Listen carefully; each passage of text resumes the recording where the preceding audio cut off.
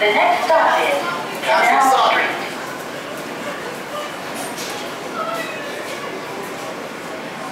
Ladies and gentlemen,